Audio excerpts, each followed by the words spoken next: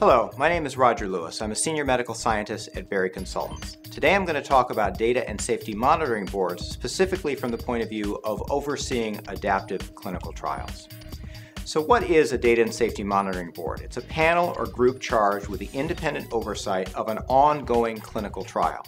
This is generally required for a phase 3 trial or equivalent trial, and it's increasingly used to provide oversight of earlier phase 2 or learn phase trials as well. The members of a Data and Safety Monitoring Board traditionally include scientific and clinical domain experts, statisticians, and in many cases also ethicists or patient representatives, all of whom work together to help provide oversight of the ongoing trial. The purposes of a Data and Safety Monitoring Board are primarily to protect subjects from avoidable risk. We're working in a research environment, so there is always some risk which is unavoidable because we don't truly know the effect of the treatments or the safety profiles of the treatments we're investigating.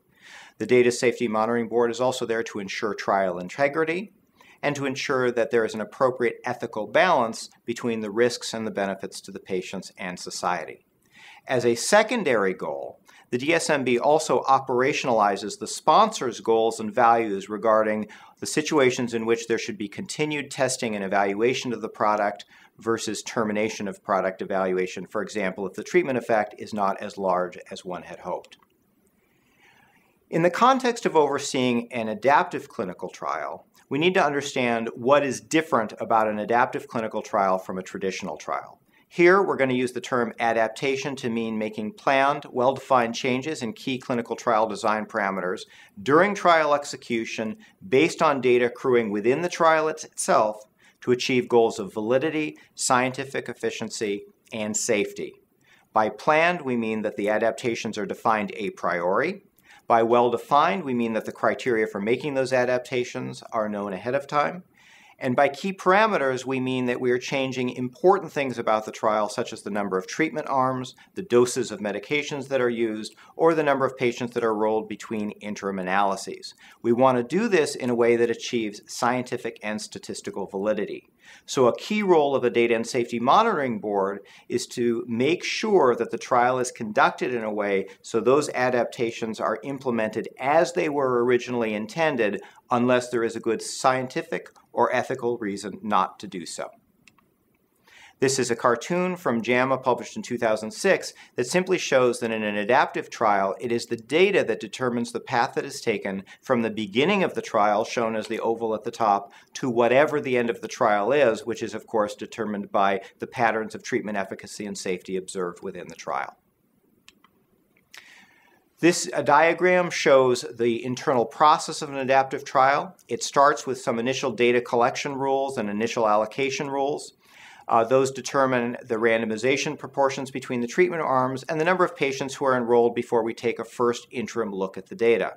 At the first interim look, we analyze those available data, which will often be incomplete, and ask ourselves whether we have met one of the pre-specified stopping rules for the trial. Assuming we haven't, we use those initial data to revise the allocation and sampling rules using the pre-specified adaptive algorithm defined by the trial and continue the data collection.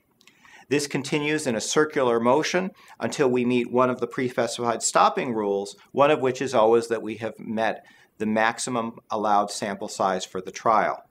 At that point, we may stop the trial, or if this is an adaptive process embedded with a state within a stage or phase of the trial, we may then move to another stage or phase of the trial.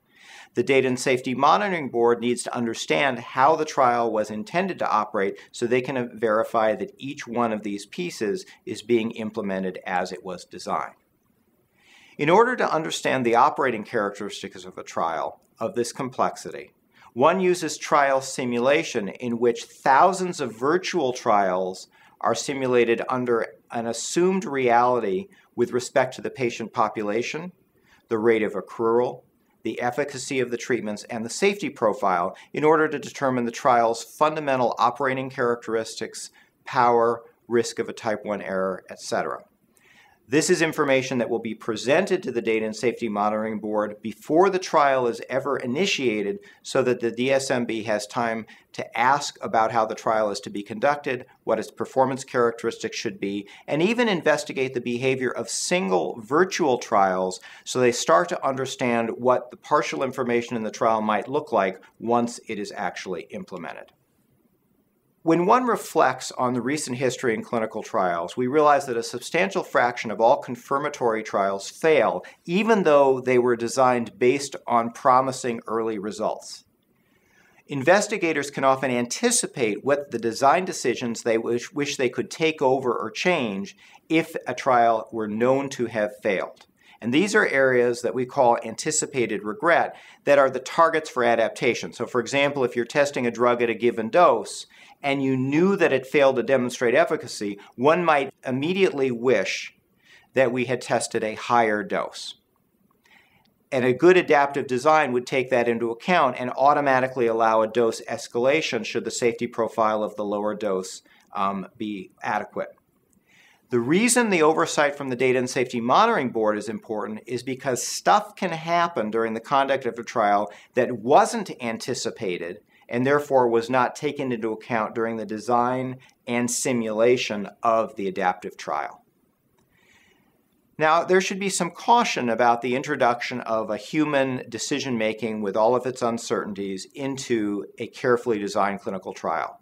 The Data and Safety Monitoring Board, because of requirements of integrity and independence from the sponsor, works in isolation. And therefore, if they make poor decisions, they can really screw up a well designed trial. And if the trial is innovative in its design, the DSMB must understand what the trial is supposed to do so they know if something is going wrong, for example, a blunder in implementing the trial algorithm, so they can understand what the trial was designed to do so that they know whether it is no longer appropriate to do what the trial was designed to do and they need to recognize the impact on trial validity if they make unprespecified changes to the trial, trial design. So, what is different about a DSMB overseeing an adaptive trial versus a DSMB overseeing a traditional trial? The difference is that the DSMB must have the expertise to assess whether the planned adaptations continue to be safe and appropriate, and they must have the ability to verify that the planned adaptations are being implemented properly. But perhaps what's more important is what is unchanged for an adaptive trial. The DSMB continues to have as a primary role the goal of ensuring the completion of the trial as planned, but in this case, that includes the adaptations. In other words, it is the trial that is adaptive, it is not the DSMB. Want to take a moment to talk about a challenge in identifying members for DSMB that has to do with the correlation between expertise and apparent conflict of interest. The number of statisticians and clinicians with extensive experience in adaptive design is quite limited. And therefore, when trying to find people with high degrees of expertise in the clinical, scientific, or statistical domain, one in general identifies people who also have a greater degree of perceived conflict of interest. The DSMB should be constituted to balance that and to have some members with great expertise but some perception, potential perception of a conflict of interest, with also members who are relatively free of conflict of interest. A question that often gets asked to me is whether working on the design of an adaptive trial automatically creates a conflict of interest so that the person who worked on the design cannot work on the DSMB. And whereas there are many possible uh, perceptions of that level of conflict of interest, and a different answer may apply appropriately in different circumstances, I think it's important to make a distinction between an interest in the success of the product and an interest in the successful conduct of the trial. In general, an independent design consultant who's worked on the design of the trial does have a vested interest in ensuring the trial is conducted as it was intended, but in many cases, that does not extend to a need or a belief or a desire for the product to be ultimately shown to be effective. In fact, I consider an adaptive trial that rapidly identifies an ineffective treatment and terminates to have been a highly successful trial. So, a key goal of a good adaptive design is that it fails efficiently, but hopefully, in many cases, also efficiently demonstrates the true benefit of the treatments we're investigating. In selecting a chair for the Data Safety Monitoring Board, it's important to realize the chair must have a working understanding of all of the clinical, statistical, logistical, and regulatory considerations affecting the trial, and be able to facilitate the deliberations in such a way that it incorporates all the relevant expertise and perspectives from the committee. They need to be aware of the regulatory considerations if non pre-specified changes are made in the design, and they must have the avail- available time so that they can flex substantial time and effort to devote to DSMB activities should something happen the in the trial that is unanticipated. As an aside, I'd like to make a comment about the placing of key scientific opinion leaders on DSMBs. Sometimes sponsors would like to choose key opinion leaders, clinical key opinion leaders, on DSMBs in anticipation of a successful trial and with the hope that the experience that key opinion leader acquires within uh, the service on the DSMB will help make them a positive spokesperson for the product itself. In my experience, such choices can be highly problematic for DSMB membership because those key opinion leaders often have limited time for preparation and DSMB work. They often have preformed opinions regarding the product, which may be positive or negative. And the authority that and the influence they have on the DSMB may exceed their understanding of some of the statistical challenges associated with the interpretation of sparse data. In addition, many key opinion leaders who are wonderful clinicians lack a deep familiarity with considerations of trial integrity, the, the preservation of designed operating characteristics, and similar regulatory issues. Unfortunately, there is no standardized training for DSMB members in general, let alone for an adaptive trial. So one must devote greater time to allow people to come to understand the adaptive design prior to the initiation trial and prior to putting them in the position where they're overseeing that trial.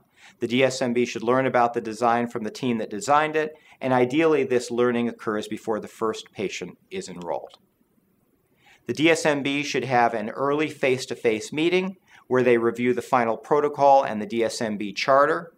They should have a detailed explanation of the adaptive design, its rationale, and the simulation results. And it is important to present example single simulated trials with the adaptations that occur within those trials so the DSMB members start to gain a familiarity with how the trial might play out. This also allows the DSMB members to ask important questions that they could never ask once they have seen unblinded data. The efficacy and safety considerations that might be important to patients but are not captured with the adaptive design should also be discussed at some length.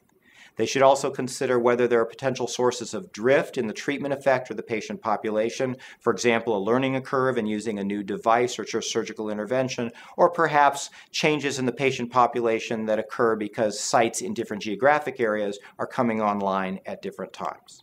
So in conclusion, the membership of a DSMB overseeing an adaptive trial should include a variety of clinical, adaptive design, and clinical research expertise. Conflict of interest should be minimized so the DSMB can work independently, but we should do so in such a way that doesn't sacrifice the necessary expertise. Pretrial education of the DSMB is critical, and a detailed pretrial meeting uh, will help the DSMB understand the design in detail, protect the trial validity, and protect the sponsor's interests. Thank you very much.